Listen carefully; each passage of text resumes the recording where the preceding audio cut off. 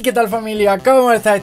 A ver, tú piensa, ¿alguna vez vamos a dejar morir Juego de Tronos? Ya te digo yo que no. Somos así de cansinos, a ver. Machacando, machacando, machacando. ¿Y qué pasa? Pues que mira, yo hay dos personajes, bueno, uno no tanto, la otra sí, que me gusta. Y me he puesto a indagar y he descubierto una serie de paralelismos que tú dices, ¿cómo es posible? Si es que prácticamente la vida de uno y la vida de la otra están ahí casi paralelas. Te estoy hablando nada más y nada menos que de los personajes de Jon y Daenerys. Porque aunque tú creas que solo están unidos por el hecho de que son tía y sobrino, y bueno, y porque hicieron cositas guarras. No, no, no, no, no, hay mucho que los une, porque es que casi han compartido vidas. ¿Les esperará el mismo destino? Pues lo vamos a descubrir. Te animo a que te suscribas si no lo estás, sí, prepárate que esto empieza. Ambos perdieron a sus padres durante la rebelión de Robert. Y no solo eso, sino que encima, ambos personajes que mataron tanto al padre de Daenerys como al padre de Jon, tienen algo en común. Y es que ambos han tenido el tema que te quemas con Cersei. Se la han zumbado fuerte y flojo. Porque al padre de Daenerys lo mató Jamie Lannister y al padre de Jon Snow lo mató pues nada más y nada menos que Robert Baratheon. Las madres de ambos también murieron, pero es que encima murieron ambas dándole salud, pariendo. Si es que como te digo,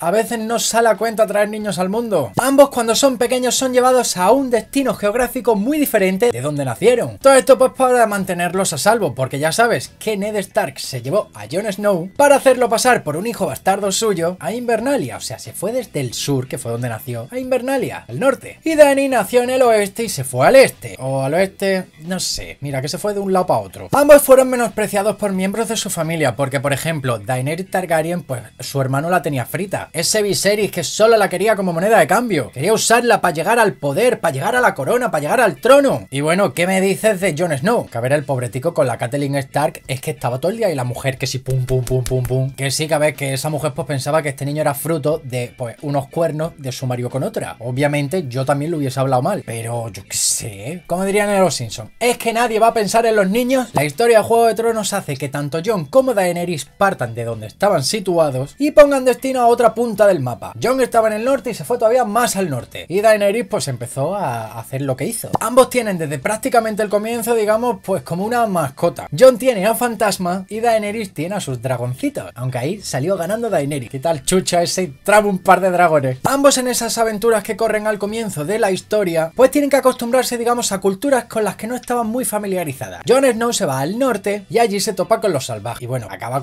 tomando las costumbres de estos. Bueno, las costumbres y Jon es que se lo pasa muy bien. Y Daenerys pues se va con los Dothraki, que ella pues estaba acostumbrada a ser una señorita rubia pijilla y pues eh, los, los otros no eran muy pijillos, ¿eh? Ambos, como bien dice la historia, canción de hielo y fuego, han aguantado muy bien el hielo y el fuego. Porque yo las paso putas en el norte y en el muro, allí por con los salvajes, de pensarlo me da frío. Y Daenerys pues le tocó todo lo contrario, el calor, porque ¿qué me dices de cómo la pasó en el desierto? Haciendo que no solo el destino de ellos pues tenga un paralelismo, sino que representen lo que es la historia, canción de hielo y fuego. Ambos en los libros se lamentan por no tener hijos. John lo hace en Tormenta de Espadas y Daenerys lo hace en Danza de Dragones, pero claro, John también, pues a ver, tú igual si te vas con otro así, Daenerys lo tiene más complicadete. Ambos tienen a alguien de la casa Mormon como mentores, porque John tiene a George y Dani tiene a Jorah. Además, no solo eso, sino que tú te acuerdas que la espada garra, o sea, la espada que lleva Jon Snow, es la espada ancestral de la casa Mormon, la cual una vez perteneció a Jorah. O sea, es que no solo es que tengan paralelismos, es que eso se une. Aunque el amor los ha dirigido mucho en su camino, al final han decidido que su destino era otro y no el tema del folleteo. Que han folleteado muchos, sí, pero que siempre se iban dejando llevar por otras cosas. En plan de sí, yo sé que el amor me llevaría aquí, pero que yo me tengo que ir para acá me voy. Le paso a John con el tema de los salvajes, el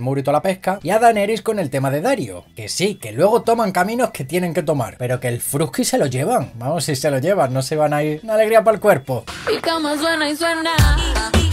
Ambos son de la misma casa, o sea, porque luego, a ver, en los libros todavía no se ha descubierto, en la serie sí sabemos que Jon es un Targaryen. Pero bueno, vamos a plantearnos, vamos a situarnos pensando que Jon es un Stark y Daenerys una Targaryen. Pues ambos, a lo largo de su historia, siempre han intentado impresionar y anteponer todo por, su casa. Todo lo que hacen es por el honor de su casa, todo lo que hacen es por el deber de su casa y todo lo que hacen es porque son miembros de su casa. Aunque eso sí, es verdad que en la historia de los libros a Daenerys le han propuesto ya volver muchas veces a Poniente y ella sigue todavía en Merin allí gobernando. Y a Jon Snow le han dicho mil veces, oye, ¿por qué no te vas a Invernalia? Y él no, allí en el norte, norte, norte que sí. Aunque tú te estarás acordando del final de Juego de Tronos, tú ten en cuenta la Daenerys de antes. Pues a ver, esa Daenerys y ese Jon, digamos que son almas de la caridad. Van por ahí haciendo el bien, defendiendo a todos los pesados que le están haciendo cosas del bullying a los demás. Ellos están ahí para hacer el bien. Hay uno malo, se lo cargan, liberan a los buenos. Que luego igual a Daenerys se le va la pinza, pues sí, pero a ver, todos tenemos un día malo. Poquito a poquito los dos pues pasan de ser uno dos nadie, porque Daenerys, a ver, estaba ahí, nadie sabía ni siquiera que estaba por ahí. Y oye, que la tía iba conquistando, se hace con los dragones, se hace con el ejército este de los dos Rakis, se hace con un montón de cosas. Maculado, bueno. Y Jon pues también, porque oye, se hace guardia de la noche. Luego no solo eso, sino que llega a empatizar con los salvajes, se llega a un pacto con ellos. Se convierte en Lord Comandante de la Guardia de la Noche, o sea, es que van, sus carreras van para arriba, para arriba, para arriba. Daenerys tiene en la cabeza muchísimo a sus antepasados, tanto a sus hermanos, como a su padre, como a su madre, como a toda la familia que hay por ahí después. Y Jon es cierto que también piensa mucho, porque o sea, él sabe, bueno, él cree que su padre es Ned Stark, pero no sabe quién es su madre. Y no para de preguntar, ¿quién coño es mi madre? Pues la hermana del otro, si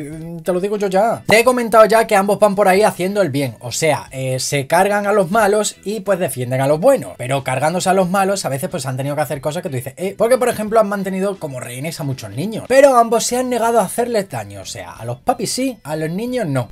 ¿Ves? Esta gente sí piensa en los niños. A lo largo de sus historias, ambos son traicionados. Y no solo traicionados, sino que se tienen que enfrentar a varios intentos de asesinatos hacia su persona. Daenerys, como bien sabemos, consigue escapar de toda esa mierda yéndose con su dragoncico volando. Recuérdate lo que se formó allí en el circo. A ver, hay que decir que la traición de Jon, pues bueno, ese cuerpecico, pues digamos que sufre unas cuantas apuñaladuras. ¿Apuñaladuras? Que se la clavan por todos lados. Si Jon en la historia de los libros pasa igual que en la serie y acaba siendo resucitado, pues podemos decir que tanto Jon como Daenerys han renacido de sus cenizas. Bueno, Jon resucitó prácticamente. Y Daenerys, pues digamos que se metió en la pira funeraria esa allí con el fuego. Y ella salió de allí con sus hijos, sus dragones, para reventarlo todo lo que se pudiera. Así que otro paralelismo que tienen ahí los dos juntos. Yo sinceramente es que me quedo flipando. O sea, yo me he quedado a cuadros con de verdad la historia. Porque es que si las pones así y vas conectando hechos, que les ha pasado un montón de cosas igual. O sea, no igual, igual, pero tú me entiendes. Que van superando como los mismos retos. Ellos que en teoría son los dos candidatos al trono. Porque Jon no lo sabe. Bueno, en el libro todavía no lo sabemos. Que creo que sí. Pero Daenerys, ella se postula como la gran sucesora. O sea, la heredera al trono de hierro. La legítima reina de Poniente. Y fíjate qué cosas son. Que es que, eh, digamos que es que tienen que superar casi los mismos retos. Estas cosas me gustan a mí mucho de la historia. Estas cosas me gustan mucho de los libros. Estas cosas, de verdad. El hombre, George R. R. Martin, puede tardar todo lo que quieran escribirlo. Pero es que lo que escribe está muy bien escrito. Ahora, si se metiera un petardo en el culo y fuese con más prisa, pues igual me caía mejor. Cosas que escriba bien, otra cosa es que me caiga como el culo. Que es que no mira por nosotros. Pero ya,